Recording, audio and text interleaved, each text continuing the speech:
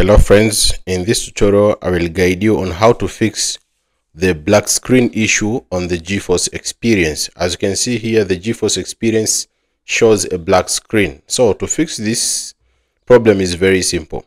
Just go to device manager on your computer then select display adapters and disable integrated graphics. So just press the window key and type for device manager. So open device manager and then look for display adapters and you'll find integrated graphics like ultra hd graphics or maybe intel hd for me i'm using intel hd graphics. So just disable this.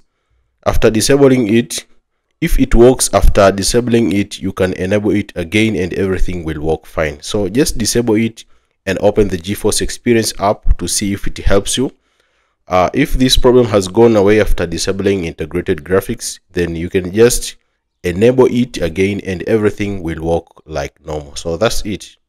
I just found this solution. Someone shared it on reddit. So as you can see what worked for me is going to device manager display adapter adapters and disable my integrated graphics intel uhd for example.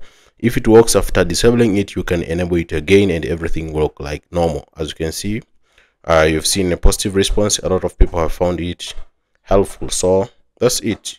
This is how you solve a black screen issue on the geforce experience